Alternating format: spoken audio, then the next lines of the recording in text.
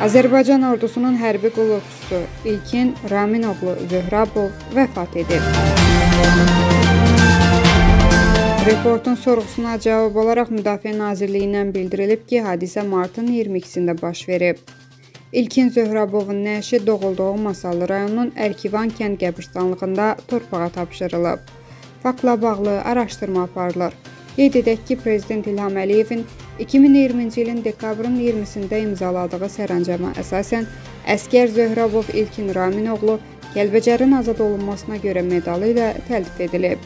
O, Azərbaycan Respublikasının Kəlbəcər rayonunun işğaldan azad edilməsi uğrunda aparılmış döyüş əməliyyatlarında iştirak edərək şəxsi igidlik və şücaət nümayiş etdirdiyinə görə təltif olunub.